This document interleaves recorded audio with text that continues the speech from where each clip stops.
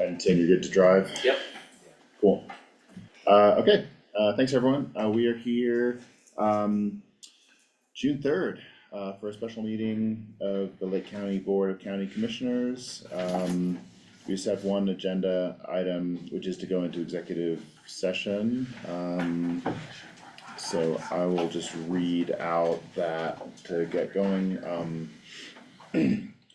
so, uh, going, we will be voting, uh, to go into executive session, uh, to determine positions relative to affordable housing development matters that may be subject to negotiations, develop a strategy for negotiations and or instruct negotiators pursuant to CRS, uh, section twenty-four six four oh two four E, and to hold a conference with the county attorney to receive legal advice on specific legal questions pertaining to affordable housing projects pursuant to CRS, uh, section twenty-four six four oh two four B.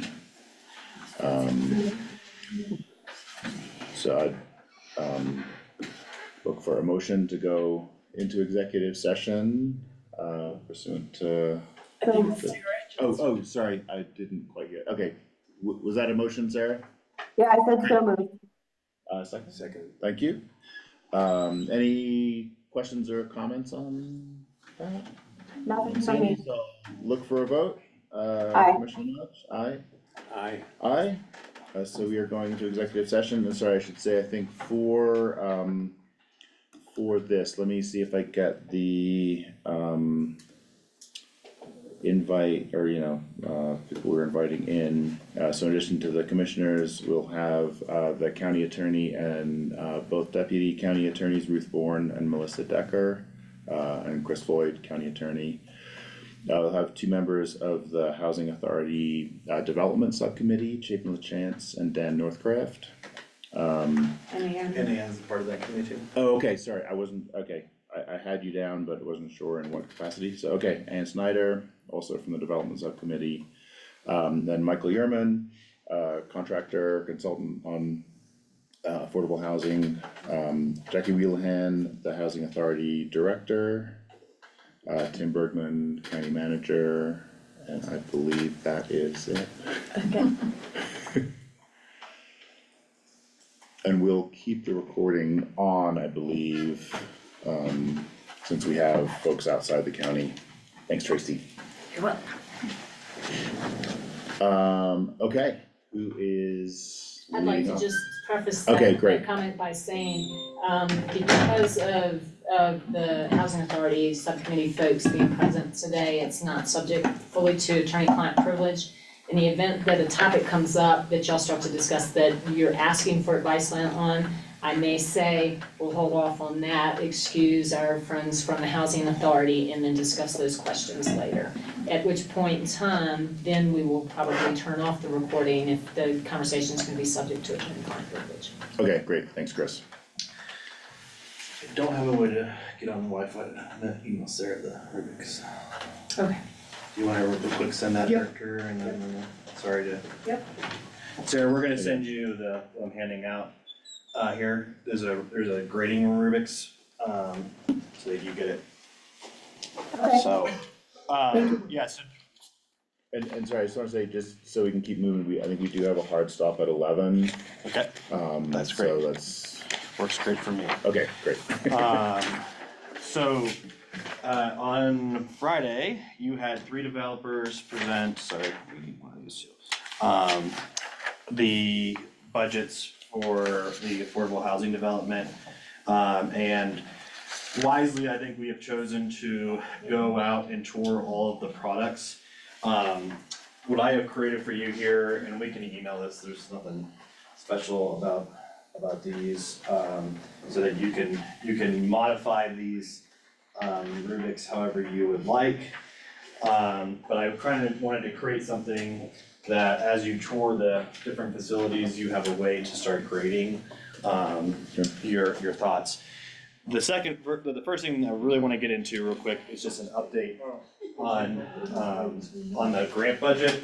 So I kinda had a, I have to admit, I had a momentary freak out this this this uh This morning? no, Or this afternoon. On, on, Su- on Sunday, when I was going through the grant budget, I was like, how am I off so much. Uh, and what I realized is that the grant did not have the hospital district site in it. So I was like, I'm like, I am, and it had been a year, you know, since I, I touched it.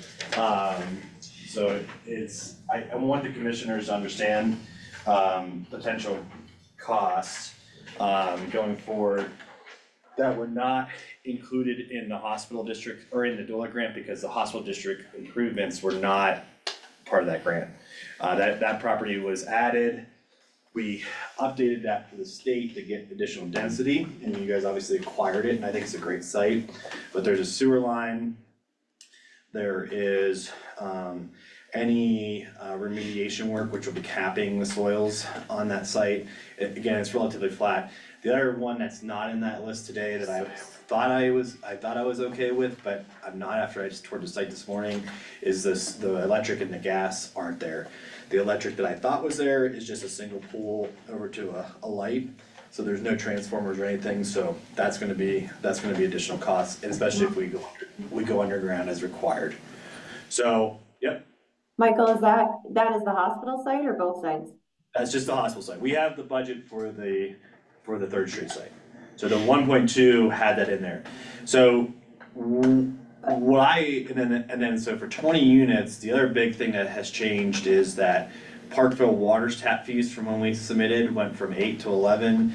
And Leadville sanitation went from eighty-five hundred to fifteen thousand per unit. That equates just on the twenty units to, I think what I have in there, I don't have it in front of me, Twenty-six thousand times twenty. well, it's hundred and ninety thousand just in tap fees, just in the increase. And then, so that, that's the, that's the bad news, is that we're basically, um, you know, underwater as it relates to tap, just because of the tap fees alone. So, Do we, um, have we Parkville or sanitation to ask for any reduction, or do we think that that's not at all possible? I would highly doubt they would, we were talking about this before. Typically, uh, they don't, the reason that they are going to struggle to waive tap fees is because their debt service is relate, is tied directly to the income that comes from tap fees. And so unless they created some policy prior to issuing the debt service for their new facilities, then it's really hard. And that's my experience with my own utilities in Crested Butte, when I had enterprise districts. We actually paid from the Affordable Housing Fund to the enterprise fund on every tap fee deferral, um, that we paid, so They increase their taps with new infrastructure? I have no idea why they, Jackie, do you know why they increased their tap fees? Cause they can. Yeah, I, I don't know, I don't know. Cause maybe we could get them lower. Um, it's certainly worth a discussion, given the amount, right? But then the other piece of the puzzle is that I really wanna be clear on every additional unit above twenty, so we're talking, with adding the hospital district site, we're talking, you know, twenty-four to twenty-six units. Every additional one right now, I'm estimating is about a forty-two thousand dollar increase on the budget. When you add in the service line, the tap fee, and then you also, the other thing that's not in there is the gas and electric costs for a new transformer or whatever, so it's not insignificant for us to increase density. Um, at the end of the day though, I mean, you're trying, your goal is to put as many housing units on the ground, so it's just a consideration. The last thing I'll add, just as it relates to, it's not all doom and gloom though, because you did receive, what, eight hundred and eighty thousand dollars from Eight, eight fifty, we'll see, tomorrow we We'll we'll learn see. about how we get it. from the congressional, the congressional award you had for the site, so. I mean, I would, s- I would predict that we would wind up using almost half of that to get the additional infrastructure we need to go to twenty-four units, if that makes sense. What, w- is it easier for me to just chime in or raise my hand? Yeah, go ahead, yeah. Okay, was, um, was that, Jackie, specifically for this project? I know you wrote that with the housing authority, I'm just asking, because I'm wondering if that was the housing authority award. We need to ask the housing authority to assign it to this project, or was it at the beginning when this was intended to be managed by the housing authority, but now it's the county's project? So yes, I have, I have asked the question, um, if it could be done before we get it. If it could be, um, rerouted to the county, uh, but maybe it would just be easier for the housing authority to do a letter or something, um, requesting that. Um, I have explained it to multiple people that don't email me back. Um, so tomorrow, we're having an informational discussion with HUD, um, on how to access these funds. And it's not just gonna be me, it's gonna be all the awards, uh, awardees, so I don't, I don't, I don't know how that's gonna go, but I, as soon as I get through that, I'll let you know what I learn.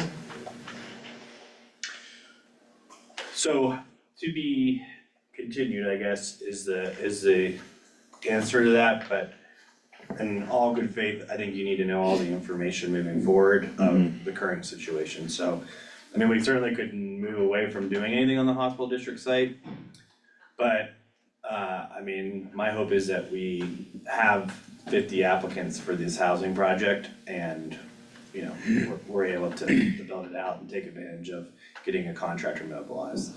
Um, it's fifty grand is about in line of where I see most projects per unit on a subsidy from local governments for what it's worth. So you, it's tracking, um, but those tap fee increases. Now, we do have a hundred thousand dollar contingency that makes, in the construction budget, so depending on where bids come out, but uh, certainly doesn't cover the whole thing. Okay, so that's the DOLA Grant update. So the next thing I wanna get into, um, it is, I really spent the weekend really going through the three proposals. And on your rubrics sheet, you'll see the top piece. What I, what I basically did was I went and I took what was the most comparable across the board model, which was a three bedroom unit that all three produced.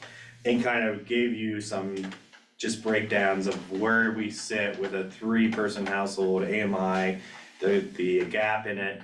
And then what I, what I consider these additional costs that are certainly gonna come full force at us the second we go into negotiations, because there's a lot of things that were kind of hidden in their proposals, which you have to tease out, which I'm used to doing, that's how you guys got me here. Um, the, uh, so going down the list, there's, what I would tell you is that when you go to visit each of these facilities, my, you can, you don't, you're not tied in any way to this rubrics. But to me, it gives you an opportunity to kind of take your notes, this is really intended for the B O C C, to, to, to think what, the things that I, if, if I were in your shoes, I would really be thinking about. I gave thirty points to affordability and then ten points to each other subcategory underneath there. Certainly, if you have other things you wanna add to this rubrics, hundred points isn't like some magic number. Um, but it does, you know, it does give you a good, you know, academic score, I guess, if you wanna, if you wanna stay in the academic realm. Um, but let's start with the just general things that I wanna point out to, that I saw in each proposal. Solution builders, um, you know, I think number one, it's really important for us to be paying attention to the, the final finishes in these. They were not apples to apples at all, the, the sidings were not apples to apples. Um, and so there's some things that I think because of your climate that you're gonna have to have, uh, to make these units durable for your owners. Um, a metal wainscot was on, was on Fading West and wasn't on the others. Um, my experience and I would defer to the three behind me on the back row. But my experience is that when you have snow piled up against the side of a house for six months of the year, if you don't do a metal wainscot, you're going to just lose siding every year and have to repair it. Um, we were required that on everything I did in Crested Butte. Uh, so that, that add-on would certainly be an add-on.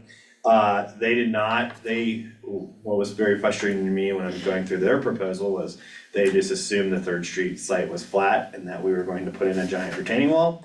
That retaining wall is not in our budget, so, uh, that is an expense, and actually, uh, Fading West is the only one that actually put in a retaining wall into their proposal.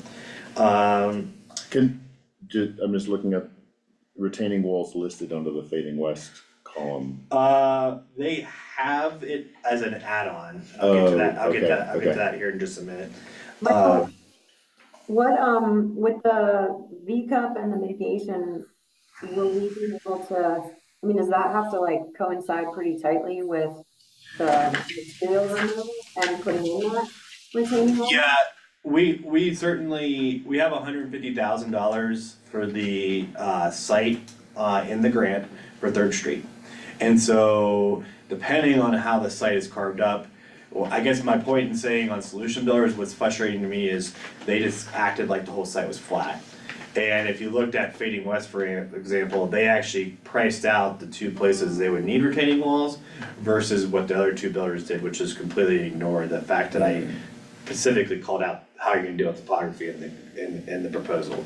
So, so I was a little question, go ahead. Is it possible that we do the retaining wall and that's all prep? Yep, yep, no, I think, I think, I think we, if we move forward with one of the, if we move, well, if we move forward with any of these, this summer, we should be putting in that retaining wall, we have Morrison Engineering, if it's over three feet and it requires it to be engineered anyways. Yeah. Four, four feet, okay. Um, if it's over four feet, it needs to be engineered anyways, so, uh, we have the engineer on, on, on, uh, retainer right now, so now would be the time to do it, and we have to, any of that excavation that comes out, we gotta deal with anyways, so, uh, now's the time to deal with it. Uh, and I think it's the case in everything, um, roof pitch on solution builders is a really big concern of mine. Maybe I could be talked out of that from the three in the back, um, again, um, but those flat roofs are gonna hold snow. Um, and at a certain point, on a really big winter, snow removal off those roofs is inexpensive for a future homeowner. As well as whether or not, if they could only even do like a slight modification, then you probably are looking at hopefully going to a metal roof, which I think is a little bit probably easier for them to do, because they could just put metal on in the factory. But at least then you have the ability for that roof to slide. Um, so those are upgrades, and then the last one I would just put in there, their flooring was okay. But the quartz countertops compared to Fading West versus the laminate countertops. Um, again, on a home ownership build, those, that, that upgrade to quartz is something that I always look at because it's a huge benefit to the final owner. Um, so I, I think it's an, an important one. Overall, though, I think they did the second best job of really getting into what their actual costs were. Solution? Solution Builders did, yep. They, they, because they did, they did look at what their vertical costs were. They, I mean, you can go through their list and they have in a landscaping budget, they have a road-based budget, they have in transportation. Um, the other, the other thing I will say, when you look at the price per square foot, one thing that they don't have in their add-on cost is gonna be construction financing, which can be very significant. Um, and it's something that I think we really need to tease out to ensure that I understand correctly that they will not need a loan. Um, go ahead. No, no, no, I'm sorry. Okay, um, so as you, again, when you go to the factory and you guys are touring that, that's a really important question, like the questions if I'm in your shoes are what's it gonna take to increase roof pitch? What's it gonna take to, um, put metal roofs on, and what are our, what are our cost upgrades for, you know, trying to get these finishes to, to where we want them? Again, you have, they are the only one that has a, a, to, to the positive on their affordability gap, they have twenty-six to the positive on that.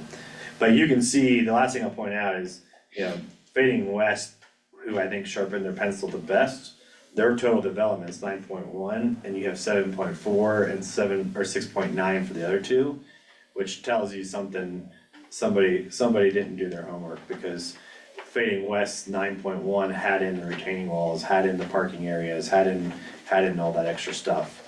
Um, so I think that's important to know. I mean, there's three units in there too, so you have about a million extra dollars in Mhm. Fading West for the extra density in there. But you're still about a- another million in, in cost there. Um, so that i- that is Solution Builders, and I guess what, cause I wanna keep us on track. Is there anything else that folks wanna add from your, especially from the development subcommittee, on your impressions on the proposals from Solution Builders? They did have forced air, which I liked, for their HVAC, I thought their HVAC systems were, were gonna be a little bit higher quality. It's all single family, um, less set and stitch, um, perhaps if, uh, you know, we we may have two, sto- it's two story single family, but, um, less set and stitch, set, and- set and stitch timing or potential issues, you know, versus townhomes, one thing to be considered.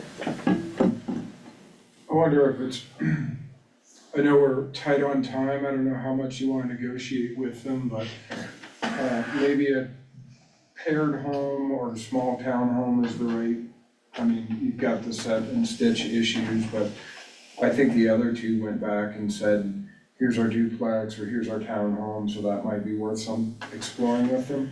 They have one side that has no windows, right, so that would be pretty easy. I, Um, On your point, Dan, what I would say with this group, again, I, I'm being real honest, I can work from where I sit as your consultant. There's not a single one of these three proposals that I don't think I can get your houses built with. Where I'm like, I'm worried that they're not gonna perform, which is a huge thing. So with this group, with what, what Dan is talking about, I actually think they would actually really go to, to put it to task to do duplex designs because they wanna get involved in mountain communities.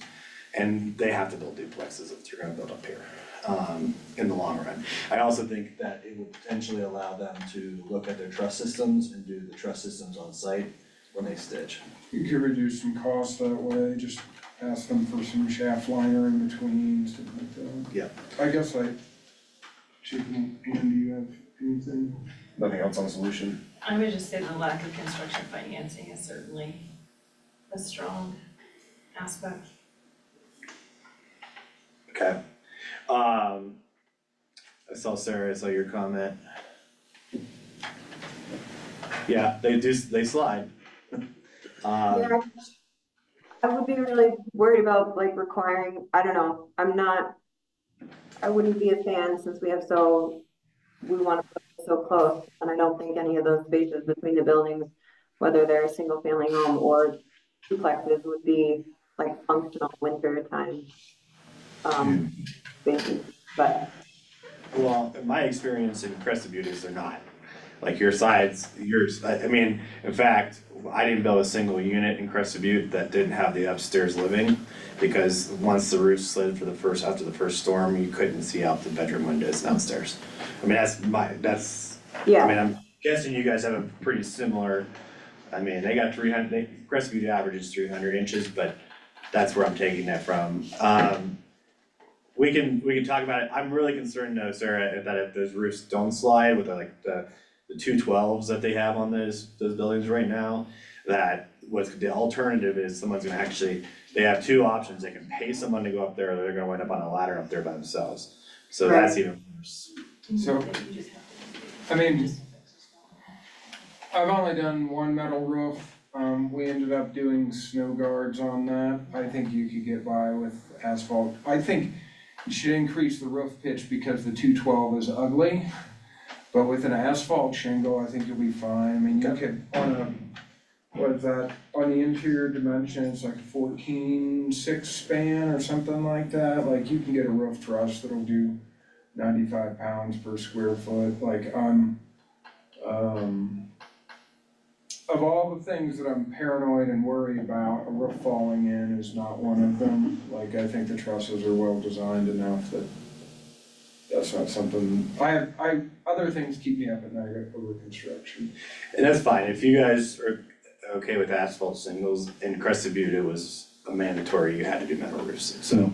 and We wanted the roofs to slide, but that's, that's your guys' community versus us, so. And I actually, and then Sarah, the one thing I would add is if, if, if, if, if we go with what Dan talked about earlier and pushing them to do duplexes, which I think is the right decision, um, when there's blank walls, we would have more, s- we'd have more space between buildings, that's part of the reason to do that. So, um, anything else on solution builder? Sorry, another. Yep. A couple other two-bit opinions. Um, we, I don't know what their siding type is. Um, and maybe it depends on if you have a metal roof or not, and if it slides and there's snow up against it. We have not run into any issues where the snow sitting against the siding has caused problems. I think what we found is the house gives off enough heat that it, you know, there's some snow melt up against the siding, but a little gap develops. So Yeah. you could potentially save some money that way, and um, I mean, I guess these are comments for all of them. We're, We're doing quartz countertops as well. Um, I don't know on this if we want to save a buck and do laminate, like there's some decent laminates out there. My, my gut is that we should price, we should at a minimum get a price to do the quartz countertops. It is for saleability for us is gonna be big, and my experience between, the difference between laminate and quartz is very little now. I haven't looked in a while.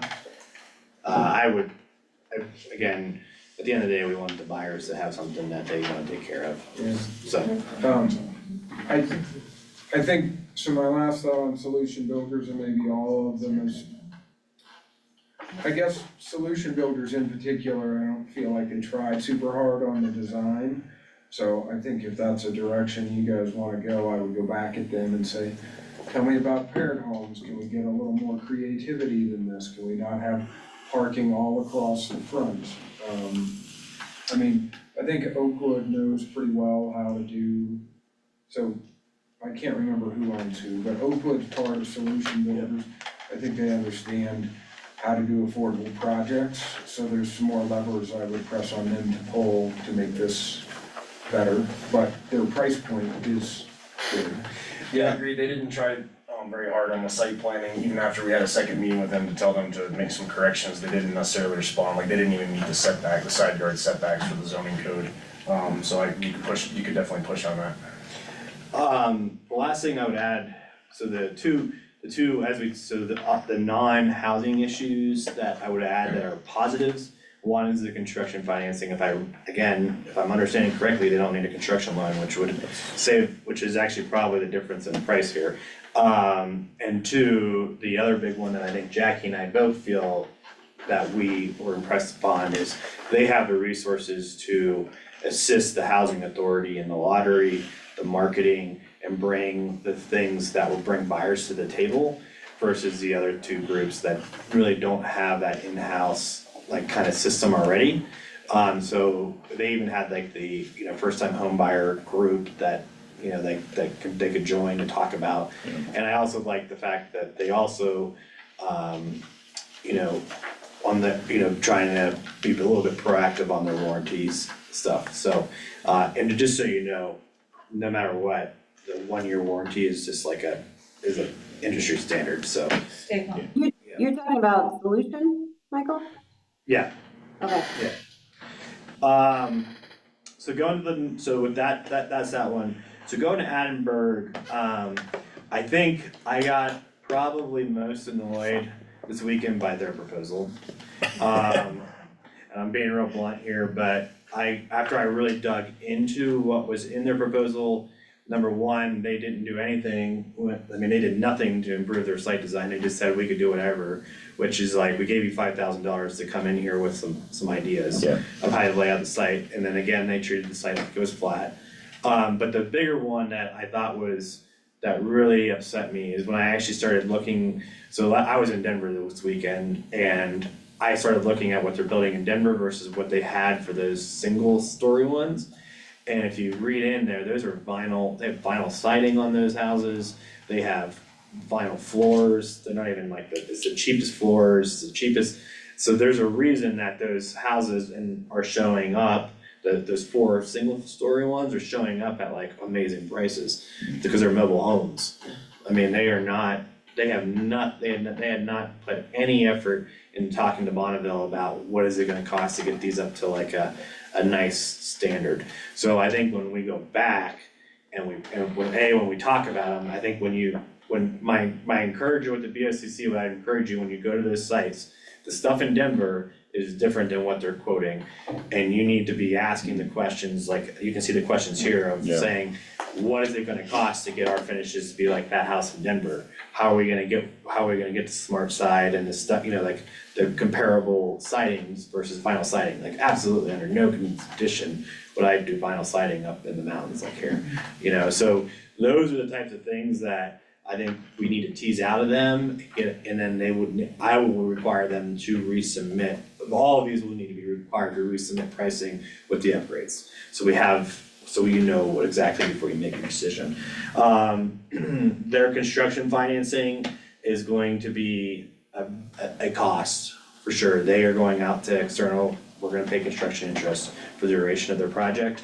Uh, and then the last thing that I kind of, after Google touring their projects in Denver over the weekend, they don't really have a a big project.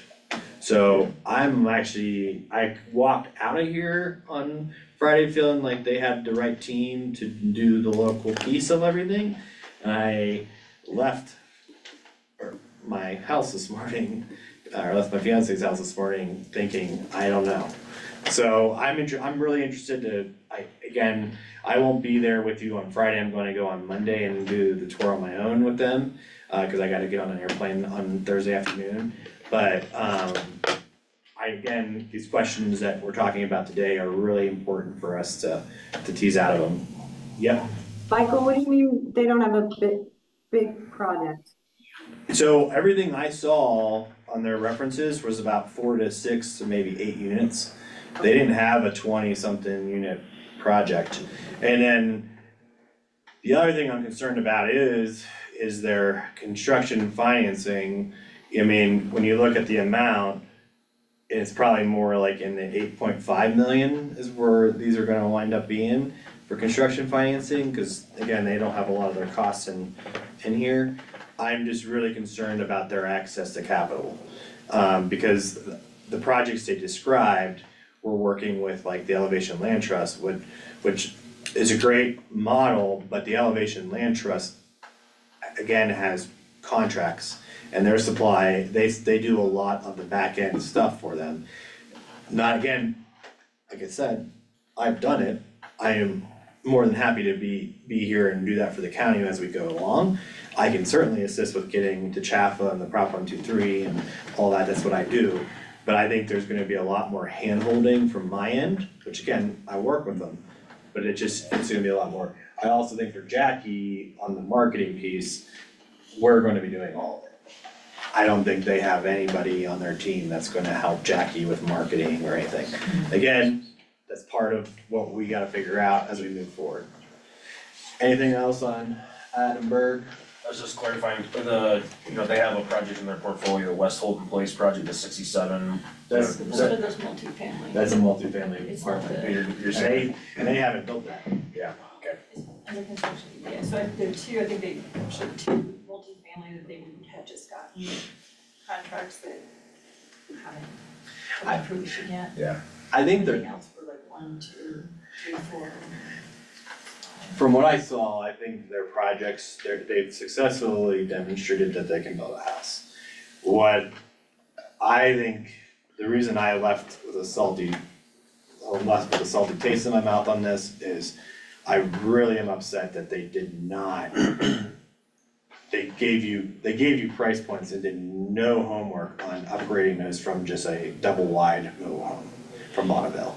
And Bonneville would have easily, I mean, that's, that's what they do. I mean, it would have been a, it would have been a half hour phone call conversation with Bonneville to say, what's your price for courts, what's your price for this, what's your price for mm-hmm. that? Which kind of makes me like, if you're not willing to do that for this, and I paid you, I paid you five thousand dollars to do that. So that's why at the end of the day, I was a little upset about it. Again, Yeah. I, I think they do have, they do have the resources to pull from Denver from the, from the labor side if they get in a pinch, which will be, which, which is a plus for them, so. Do you have any concern about their factory being Bonneville and not having control of the factory and it being out of state? Actually, Bonneville, of the, of the three, has, has Westwood uses Bonneville. Um, they, they did a couple, they did a couple uh, fading west and then they did a few stick built, and so they pulled from uh, several different places. I mean, So Westwood is not all Bonneville. Okay. I think Westwood's primarily Bonneville and they've Maybe been, primarily, we they've they been- I mean, I I haven't think gone we- out and explicitly asked them, but they made it sound like they were pretty happy with Bonneville, that it was, the factory was maybe less new and nice than Fading West, but they knew what they were doing, putting stuff together and they felt pretty good about it, so. And that- whatever. What I would add to that is, is that they've gotten the product to Glenville, that's probably yeah, that's probably a good one. Yeah, cause Solution Builders hasn't gotten the boxes here yet. That's why, That's true, right, this will be the first And that's, and that's roofs. That's, a- if they increase that roof pitch, it's gonna make their transportation costs more challenging, if in fact they can even perform, right? I, I actually, there's no way that if they, if we, if we all, they're, they're all gonna have to assemble, their- they're gonna all gonna have to drop trusses and do the roof Yeah. They're all on the site. same. I just, again, That's what, that's what Westwood does too. yeah, I, I, I hate to say it like this, but I, I think it would be, who, I think it would be a big miss for this group not to require typical roof pitches. And there's a, there's a re, there's a reason you have a history of roof, you have a reason, uh, there's a history of six twelve plus here in this town. It's not because people wanted to build nice roof pitches, it's because you guys get snow. Well, that's it. Across the mountain range in six foot.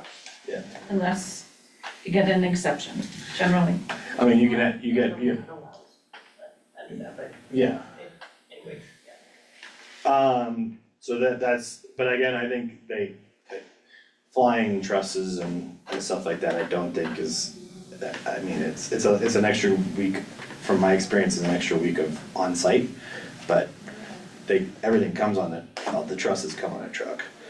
And it's just, it's putting a roof on, so, I don't know, I don't see it as a big deal. Again, you know, just, the biggest thing about it is when you're there on site, um, really be pressing on, did your proposal have this finished? Does your, did those single wides have this, you know, the wood finish, the board and batten that you showed us? Cause it doesn't seem like it did. Mhm.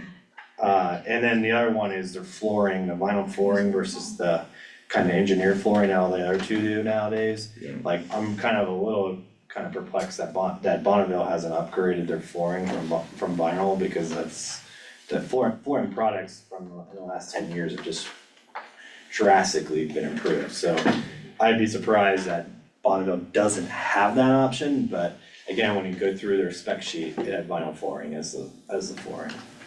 Okay. Uh, Can we, I appreciate Dan has kind of made that inquiry, uh, independently, can we follow up? Not only ask Adam to, like you said, get, get that appropriate pricing for quality increase, but, um, can we reach out to KW to kind of tease out more of their experience? with Bonneville? Before we. Yeah, I'm happy to reach out to Kyle and ask questions. yeah, we can do a reference on that. Um, one other thing, and maybe this applies to Solution Builders and Adam Berger both, one of them had in their proposal like six or half dozen, maybe eight, like local contractors, and it looks to me like they just had some preliminary conversations, got their logo off their website and stuck it on there, like, I think both of these guys are going to be surprised to find out how difficult it is for, to get local work done, and maybe that's, uh, they can bring some, I mean, I, a handful of my guys come from Denver because it's just, it works better, um, but I think both of them, you should see how, if they understand how difficult trades are in the mountains, um, and what their plan is for that, and see if that passes the sniff test. Yeah, I agree, Dan. I think, you know, I think they were trying to say that to to impress us, but I think we all know a little bit better maybe. If we can get local folks, then great, but I do think we should make it clear to them that, that that's very challenging, it's not like. Yeah, plan on getting some. Well, I don't think that should be an expectation of ours to only use local, because it can. Yeah, I, I do, I, I do think the one benefit is, is that, again, and we can get into what the next step's gonna be here in just a second, but they do have quite a bit of runway to, all three have a, a longer runway, cause they're not breaking ground till May of next year, so they have a year to, and, and again, to your point, Dan, local trades having six months' notice, uh, or, you know, being able to kind of know that they're gonna be on one site for twenty twenty-five is probably the difference between being successful in three months, asking around for three months. I, I think it's helpful, I think you still gotta hold your breath till you see it work a couple of times. Because there's lots of people that say, oh yeah, no problem. It's like, feels like this is gonna be a problem now that you're on site. I agree. Um, anything else on these guys?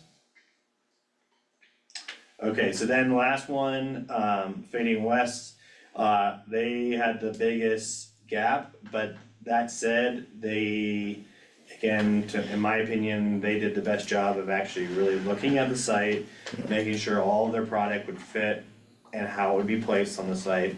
Uh, and it's really hard for me to ding them for giving us true pricing versus Yeah. and being over than the other two after I really looked at them and not.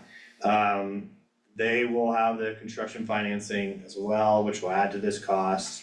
Uh, and the only other thing is that my experience with Fading West has been on these types of projects is you have to one hundred percent tease out every single cost and get it, before we would go under contract with these folks, because I am not gonna allow them to do change orders in the midstream, which is, I've seen them kind of do as their MO, they get under contract and they say, oh, you want heat pumps, oh, you want that, and they just kinda, and, and there's no, there's zero fluctuation once we have buyers under contract, cause if, if the price Oh, yeah. changes, then that is not gonna be on our buyers, it's gonna be on everyone sitting in this room. Cause we have zero, we're not gonna be able to tell someone they're buying a house for this price and then tell them, oh, surprise, it's ten thousand dollars more, cause they're not already gonna be pushing Stretched, yeah. So, um, but that said, they, they did. The other thing that I think was interesting that Jackie actually kind of brought up was they did, they did provide the one bedroom unit. And one thing that, you know, their, their most expensive units were those ones that had the underground garage. And actually Jackie brought up to me yesterday, I actually think we would actually have more buyers that would rather just buy an underground garage with a single story unit above. Like a one bedroom, like certainly when I was in my twenties, that's exactly what I wanted, was a garage and a, an apartment for myself. Uh, so those ADU units could actually supplement those four hundred and eighty thousand to do on those steeper hill, on the two sides of that steeper hillside and do two like two duplexes. I don't know what you guys think about that, but I think, I think for buyers in this community, I think we would actually find four one bedroom buyers that would love to have a garage and a one bedroom versus a three bedroom, three story unit that's four hundred and eighty thousand dollars. Yeah, there's flexibility going into the needs, seeing the needs assessment says. Yeah, so it, it was an interesting one because I was, I, those four eighty units were like, ooh, I don't feel good about putting a deed restriction on something that you can, that's more expensive than what you can buy in town. Like, it's gonna be a really, I don't think, I don't think we'll sell, that's my point. And so I would, I, I kind of was in a little bit of a bind on how we were gonna deal with that with them because we weren't gonna sell those units at that price point. Uh, cause I also can't get the Prop one, two, three funding for that. But if we do them as a one bedroom, I can, we can even get another fifty-five thousand because we'll be at that, you know, we'll be in the AMI tech category for one bedrooms. So anyways, that's just a thought on potentially just using their design a little bit more, but um, so that's, you know, so again, if you, if you go through here, um, take this with you if you want. If you wanna take your own notes and then put it in here, but the way I, you know, this is really small boxes, you can, you can figure it out. But at the end of the day, uh, so when we come back and it's time to make a decision, the three BOCC members are the ones that make the decision. And so I, I don't know if the three of you wanna talk about how you want to look at, try to look at them all in the same lens, or if you guys just each wanna come up with your own preference and then see where, have your discussion, see if you guys are in alignment. Um, that way, I don't wanna direct you on how you should make your decision, but this certainly at least, what I, again, the stuff on the side here, though, please be thinking about when you're touring that, because these are, Mhm. these are the things that, that matter, you're not tied to the lowest bid. You're tied to what is gonna be the best project for your citizens Yeah, at the end of the day. Michael, can I offer some notes on Fading West? Go ahead. Okay. Um, so t- two, two, I have uh, two categories of comments. Just one is regarding their, uh, Fading West, um, rail yard phase three project, and then the second is just regarding um, my experience and the housing director's experience in Breckenridge regarding their, uh, Fading West, uh, fifty-two unit multifamily project there. Um, so just first regarding rail yard phase three is just considering that, um, that Fading West has site control over those ten, approximately ten acres in the third phase of rail yard, and that infrastructure um is, will be wrapping up like the installation of the infrastructure for Mountain View Drive. That'll be finishing up here um this this spring and summer by um by John Lippenegger. And then rail yard will have, uh, or Fading West will have, um, you know, site control and they can pull the trigger on developing that property whenever they want. So just in terms of economies of scale, you know, if we're bringing a Fading West project to, to Leadville, that gives them a little more incentive to build out phase three. Um, but at this time, that there's no deed restriction in phase three in terms of affordability. So just something to keep in mind there. Um, going to the Breckenridge project, um, so that was fifty-two units of multifamily public-private partnership. I talked about it all day, but I called their housing developer, their housing director, um, a couple weeks ago to ask about, um, her experience. This, this is Lori Best, she's consulted the Regional Housing Authority before. Um, cause I worked on that project up until the completion of entitlements and then came here, um, when they were starting fabrication and construction. Um, so her, so, you know, personally, I had, um, a mixed experience with, uh, their team. That they had good architecture, but they had very poor site engineering, site planning, um, going, going all the way through entitlements. Um, but after I left, I already said that as a fabricator, Fading West got a A plus in terms of fabricating boxes. She she they were great. Um, I, I've typed up all my notes and sent it to, um, to Jackie and she can share it with the B O C C. Um, but generally speaking, they got, they get an A plus, um, on a lot of different things. The only issue in terms of fabrication and delivery was that when they stacked the boxes on site in, in bulk on a vacant lot, um, even though they were wrapped because they were stacked, there was a monsoon, like, and all, a lot of the boxes got flooded inside, there was a lot of interior damage. Um, she said that probably would have happened with anyone who did that, but just a note. Um, but what we should really push them on, if, if we're talking with Fading West, is on, um, you know, they've communicated they're fully vertical and they're fully in-house. We should ask about that, because two years ago, they were not. Um, and they, they said they were, and then they ended up using an architect out, outsourced, EV Studio out of Denver. Um, they got a C, um, in terms of, they were good factory drawings, but not good at site planning. Um, and then in terms of their GC, their general contractor out of Evergreen Symmetry Construction, they got a D minus on that. Um, there's a- just a, a ton of issues, the set and stitch was horrendous. Um, so those are just notes on previous experience with Fading West, again, um, you know, great at- as a manufacturer and prob- probably lessons learned on, on shipping. Um, but we need to push on, you know, what they're communicating as being ver- vertical, uh, fully vertical and, and, and in-house, ask questions about that. Is it fair to, um, talk with them and understand if, uh, working with them would help mobilize rail yard phase three, if there's any efficiencies, or if they would think about Um, yeah, I think, you know, the, the, the, what I would see is, and, and I would, what I would say is that Chapin's experience, I think, is a lot what I heard from other references on Fading West on their initial, but I think they, that, again, I think there's been some growing pains with them. I'm, I'm just glad we're not in the first rounds of them. I think they've learned a lot. Um, cause I had dealt with them out in Kit Carson, um, and they've, they've definitely improved their ability to deliver, but their first couple of projects were rough.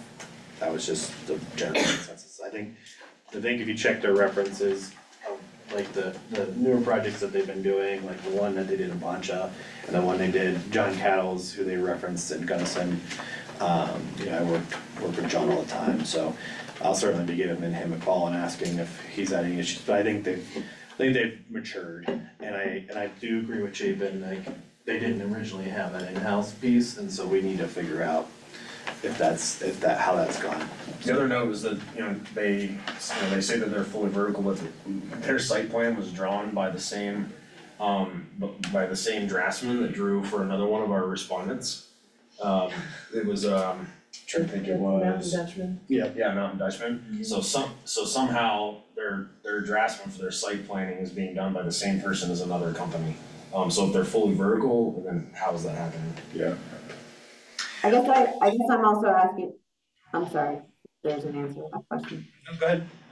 I guess I'm also asking, is there a way to work together, county and city, to offer an incentive to Fading West to reduce their costs if mobilizing for their site could be, um, some overall cost savings to them? I think we've done everything we can, Sarah, to incentivize them, I mean, we, we're going in and we're putting in all the utility work, we're doing excavation for them, for our project, so they're, they sh- they, they, I mean, your, your price point for these units should be significantly lower than what they're able to do them in the rail yard for. Does that make sense? I mean, we're doing tap fees, we're putting in utilities to the property lines, I mean, they're, they're coming in and digging foundations and putting them up, they wouldn't get that with, with the city right now, because they're not deed restricted, so. Um, the one thing I would add on this is that, you know, we, if, if we're able to, we're gonna be able to get these, I mean, if you look at their current twenty-one thousand over affordability, if we get Prop one, two, three on hundred percent AMI, we would actually still, we'd be able to drop that price point by fifty-five thousand units, so, um, I will say, don't be thinking that the state adds so much additional extra cost to, like, they're gonna require, they're gonna require fifteen percent contingency that's in the budget, which drives me nuts, cause they're gonna add an, uh, like eight hundred thousand dollars of costs that I'm gonna have to use their money to cover, so it's like, they gotta figure something out, but that's not here or there. Um, alright, so then the last piece, so I know we got a hard stop at eleven, so I wanna be mindful of that, so I just wanna talk to the commissioners about the next steps here.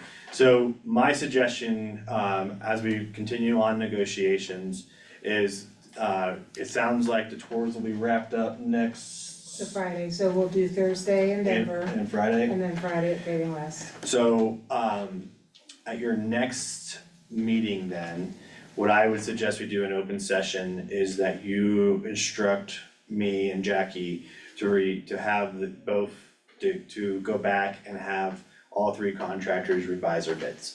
Um, and to add on any of these additions and clarify where they're at. Um, and we can discuss, you know, like with Fading West, for example, does, instead of doing this four eighty units, let's see what they can do, two units of one bedrooms over garages.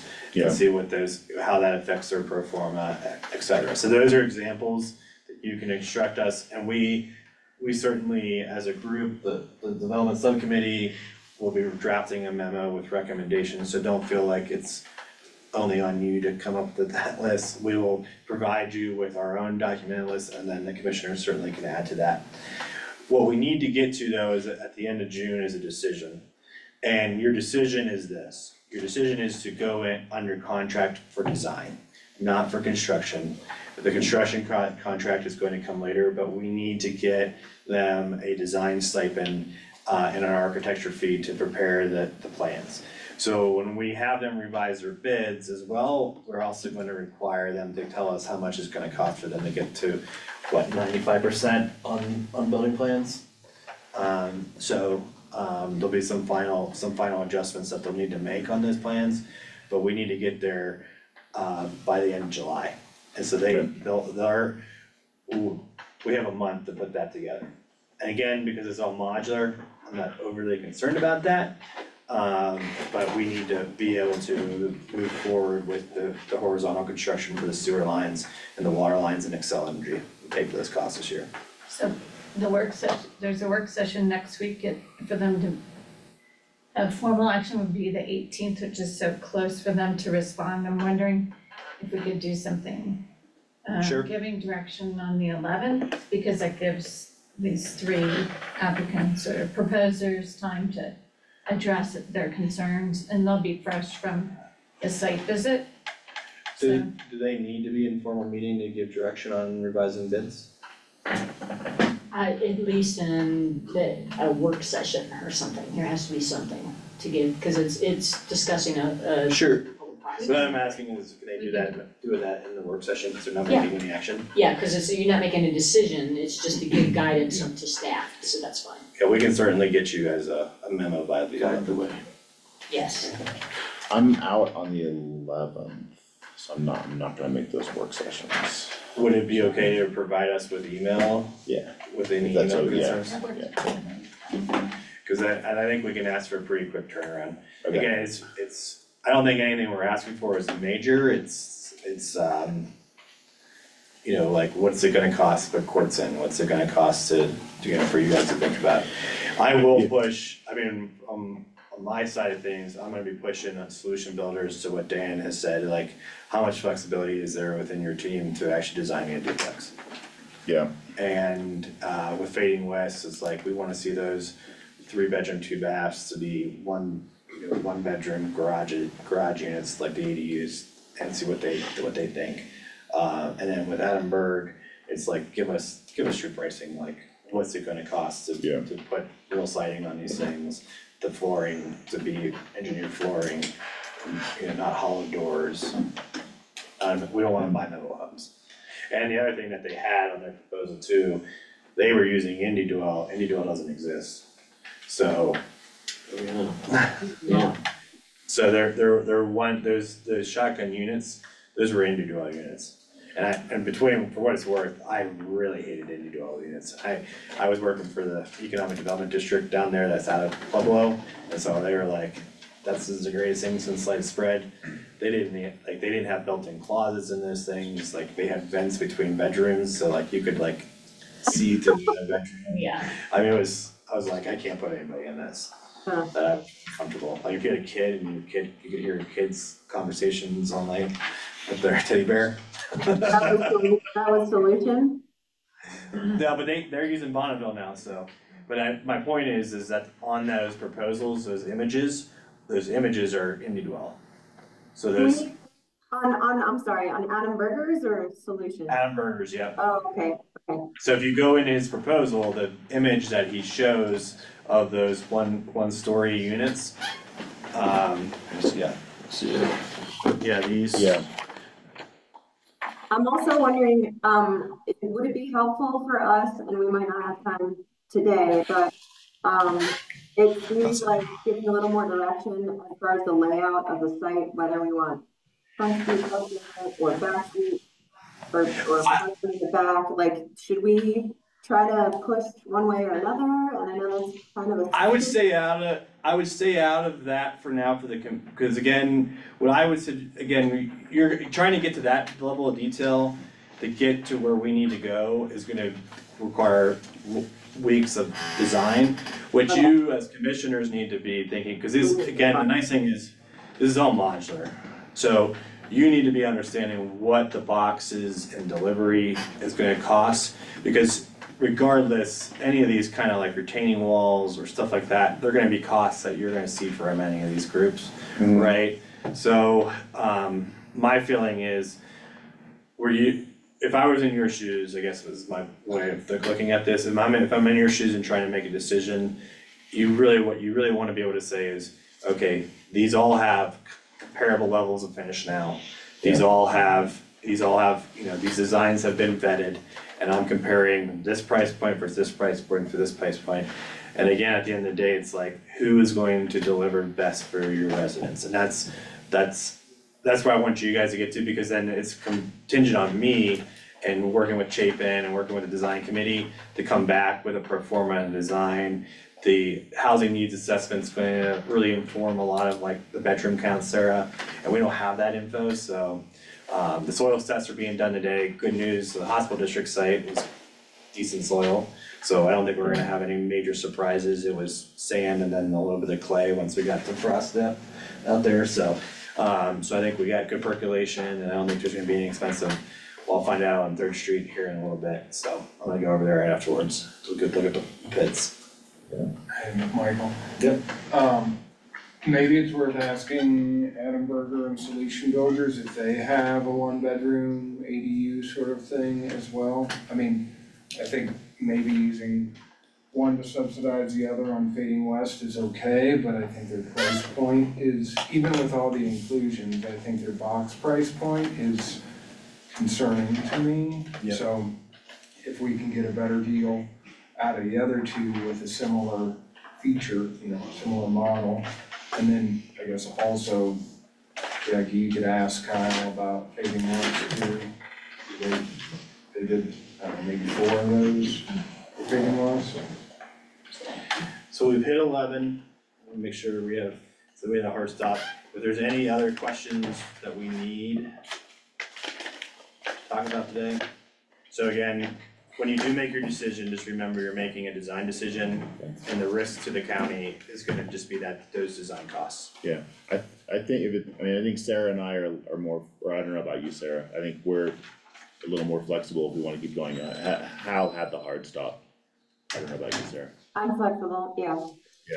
so, I So- mean, so we can wrap up a little more calmly. Okay, um, yeah, so I think, um, again, the, you know, just keep in mind that the next, what I, what, what I think is really important for the commissioners is just this process for you is being done in a way that if you, if you, your, your next decision point is probably gonna cost you roughly seventy-five thousand dollars to move forward, Yeah. right?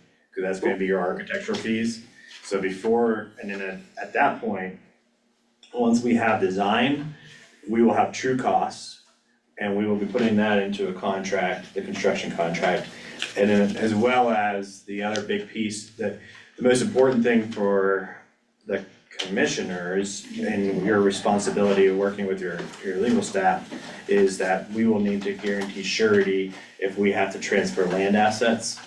And uh, we'll also have to make sure that we get the deed restriction recorded against the land prior to any kind of transfer, so Okay. we, ha- that will happen this fall, once we get to the, to the actual design, we ha- have actual costs. Because we will be putting in there penalties for not delivering on contracts and et cetera. So they're going to, they're going to lose their profit first before they lose anything else. And then we're also gonna hold a le- executable letter of credit if we transfer the land to buy the land back if they go anywhere close to default. Gotcha. I had a couple questions just in terms of our thinking, just wanna make sure, like, um, when there was some discussion of asking different builders about being flexible on exactly what units get built, like when, I mean, I guess a couple aspects of that, one is, just I don't wanna make sure that we're comparing apples to apples in terms of the unit mix, but also like, I mean, how do you, how do you ask them that? Cause at some point you need to lock that in, right? So they, they did respond, when I was asking Yeah. that phasing question, Yeah, I asked every one of them what was their minimum amount of units. yeah, but I was thinking more, it's like if we're like, oh, like we don't have any buyers for the three bedrooms, can you switch to building two and one bedroom? Like, I imagine that's gonna, I like, at, at some point that's easier, and at some point that's harder. So the way it In a works out, so project. that's a great question, it's a, it's a process question. So the way it will tease itself out is that Jackie will do a pre-qualification for two months of the lottery. Mhm. And when people are putting in their names, they'll be saying, I, I'm putting in for a three bedroom, I'm putting in for a two bedroom. And so if we see that there's only like two households that are putting in for a three bedroom, then we'll have to do a, you know, we'll have to shift. Yeah, We'll- we'll have to- But the, the, again, where I'm at on that, Jeff, is again, if, because these aren't stick built, they're modular, it's a, it's a, it's a s- trading Yeah. in and out, so. yeah, I think it was also more sort of like, how does that affect their, I mean, make sure we understand how that affects their sort of pricing, their bid. Yes, So, understand, yeah. Yeah, um, and then I guess the other thing was, I mean, a lot of our discussion was around things that weren't on this rubric, and this rubric's really helpful, but like a lot of it was around like, did they talk to local subs? Did they really talk to local subs? Like, you know, what, how much in, you know, I think a lot of the discussion was to the degree the three applicants had put in the time to understand what they're getting into. So I mean, that, I mean, to me, that's a totally fine scoring criteria, right? Yeah, and I think if you look on the rubrics, there's a line item down below, uh, what's that name on it? It's the, Oh, there we go, yeah, it's on there, okay, gotcha, I didn't flip it over, sorry. fantastic, So there, it's on there. Yeah. Maybe we should weight it more. I agree with probably with Dan, that's probably, that's probably a little bit more weight. So do you guys wanna give that twenty points? Yeah. Again, there's no such, there's no, no special thing to the numbers. I mean, there's that, I mean, there's that practical aspect of, yeah, have you worked in the mountains, do you have real relationships with subs? Like, I was impressed, like, you know, solution builders had taken the time to, what seemed like have some, like, pretty in-depth discussions with Jack Saunders, like, for, you know, that, that's, to me, scores way higher than what Adam Berger's group Did. they had gotten. You know, um, so, and then, um, yeah, and then also sort of similarly, like the different applicants had take, done more or less work on actually thinking about the site and like how things would fit up here. Um, Like I So- said, uh, you know, I, I think when you meet with each of them, my hope is that B O C C, what I, what I've seen through this process is what, what typically happens is the three of you will probably have your top two that will rise to the top. And then there'll be discussion of like, okay, what do we really wanna go with?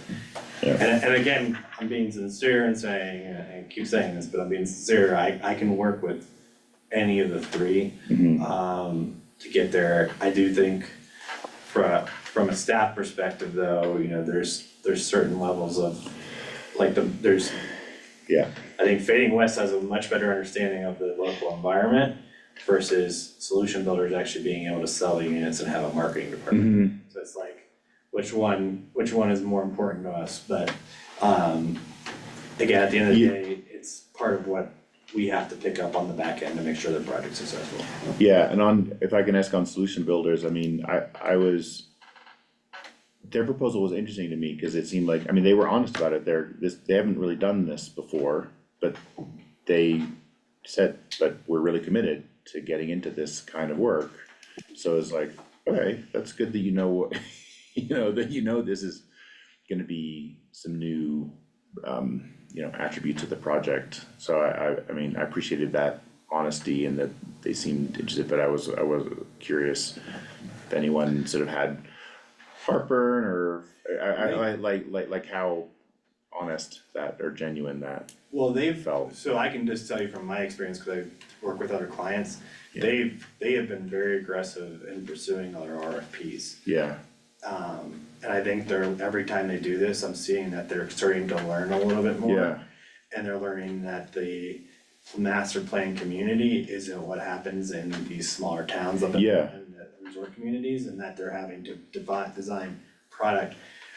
A- and so, I guess it's like, I- I'm not, I- I am, I have done this enough where I am, I think I can easily work with a big firm like that and get to, Yeah, like, no, no, yeah. no, no, you need this not the cookie cutter, like you, you gotta, you're gonna have to do this, this and this, and you're gonna have to put the roof on when it gets here.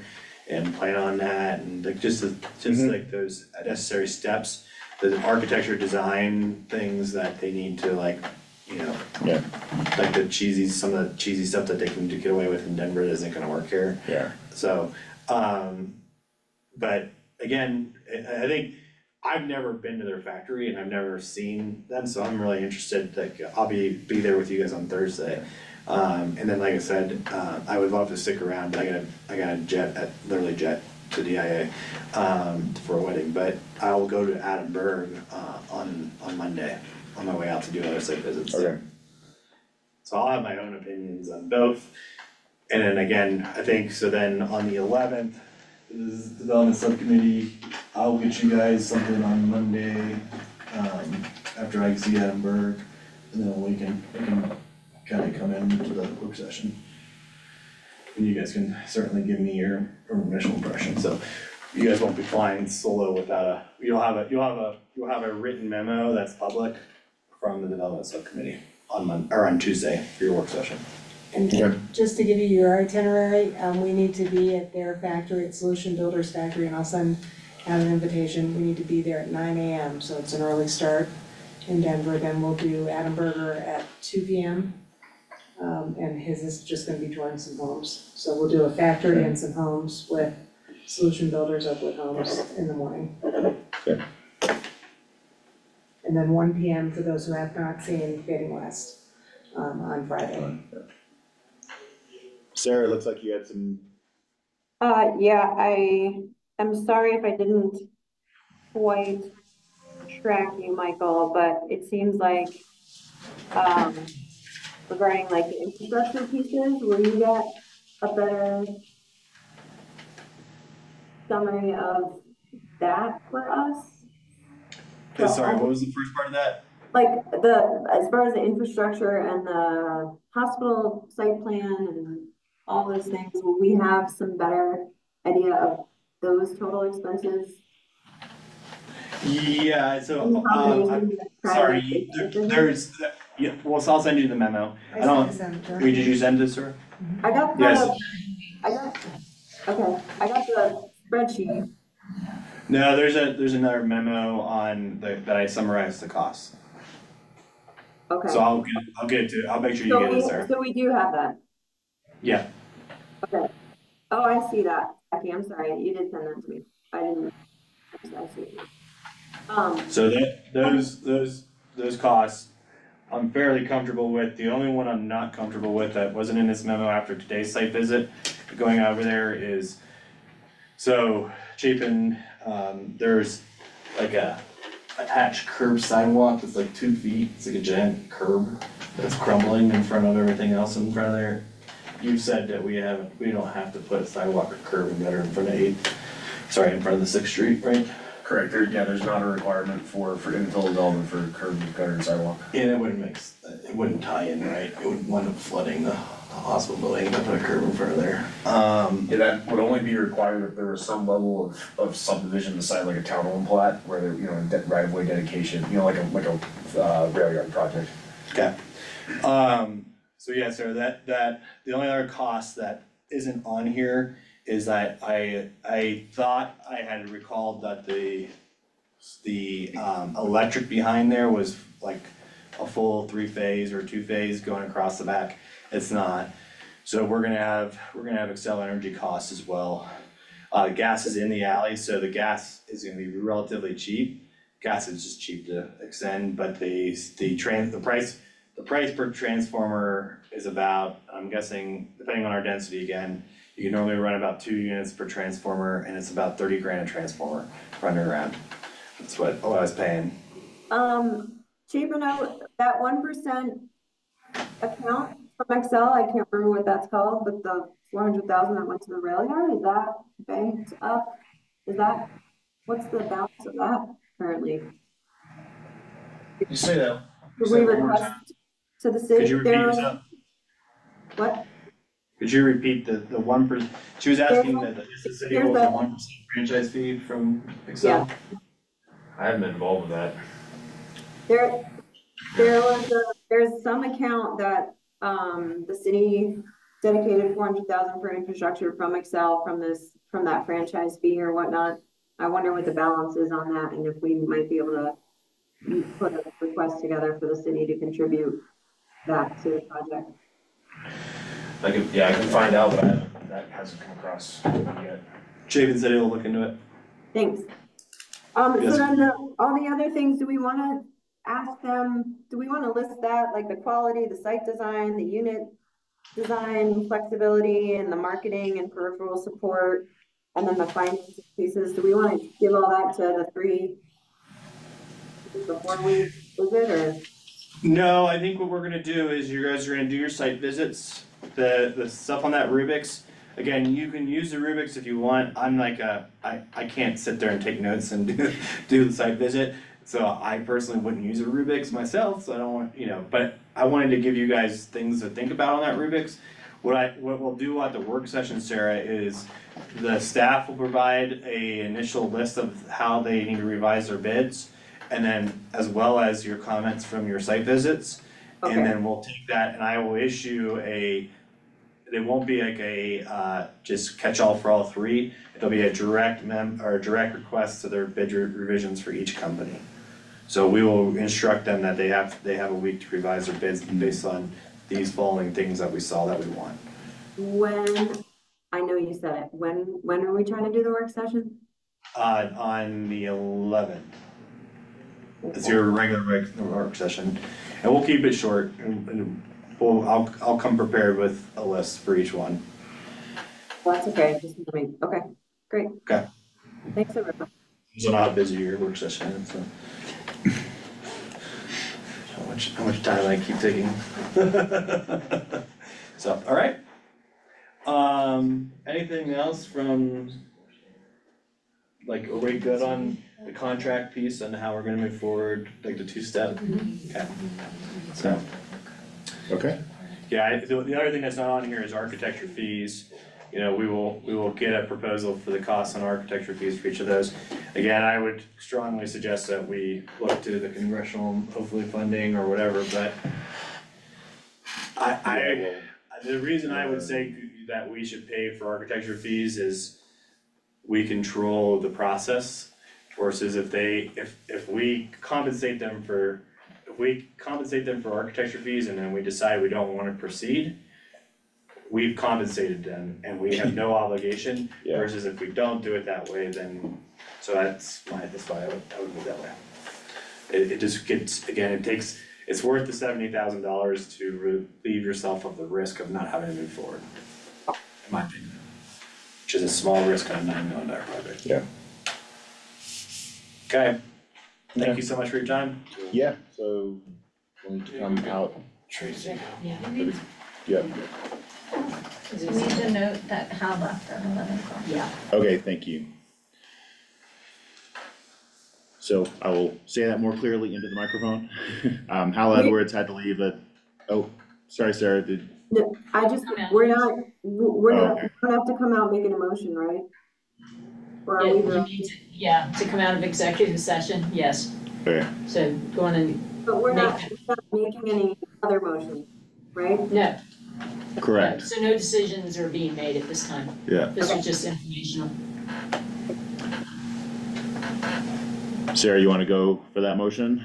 Oh, um, I'll move to come out of executive session at eleven sixteen AM. Um, and just to note, Commissioner Edwards has left the meeting at eleven. Great, I will second.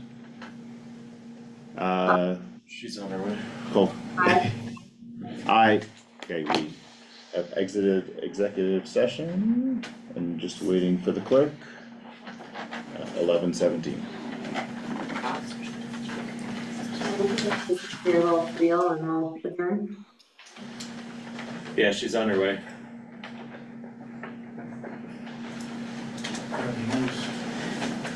Just let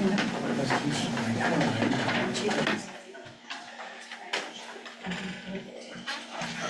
If, so if the three of you guys wouldn't mind just putting in a bullet points, you might need just anything else that I need. Thank you. Been too long? Okay, um, Assume that I'm gonna put it- Tracy's here, so we, we're- oh, yeah, yeah, Okay, Assume that anything I put in there, already, but like for like solution builders and things like that. thanks.